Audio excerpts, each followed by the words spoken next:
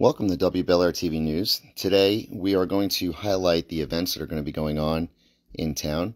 In this circled area is the Bel Air Market that has open uh, opens at 8 a.m. right next to Das Beer Hall. Main Street will be closing today at 4 p.m. and will be shut down presumably at least until 9 p.m. There's going to be activities going on up and down Main Street. Local bars, shops, restaurants are going to be open.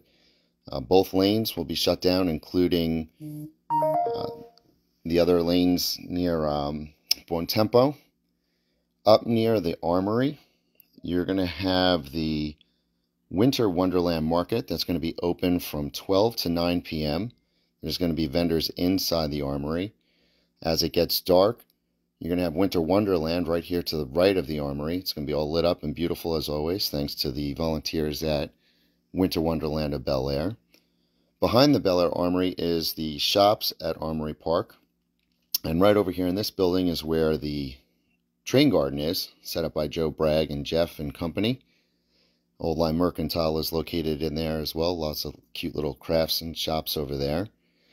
Now we're going to fly over to the location of the Bel Air Farmers Market, which is going to be transformed into the Holiday Village and Farmers Market. That's going to be open from 2 p.m. to 8 p.m.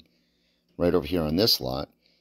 And there will be a beer market and vendors and crafts and a lot of holiday spirit. Once again, the or Winter Wonderland and Bel Air Committee was out there putting up even more lights in town yesterday. So that's pretty cool. Carriage rides start at 5 p.m. However, registration and sign up is required in front of the armory starting at 3 or 3:30, somewhere around there. I'm sure somebody will correct us, and that's okay. The big guy will be located in front of the courthouse. This road here is going to be shut down over, by the way. Uh, that way, you know not to cut through.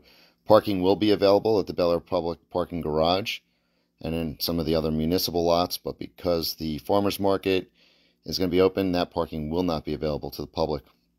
Once again, the big guy will be over here on Main Street from 5 to 8 p.m. W Bel Air TV will be out and about, so make sure you say hi to us. Once again, local bars, shops, restaurants will be open. We'd like to thank our partners.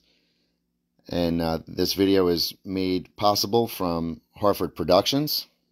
And also, we'd like to thank Wessel Insurance ProMD Health Bel Air, and Budget Blinds of Bel Air. For W Bel Air TV, this is Geo. See you out there.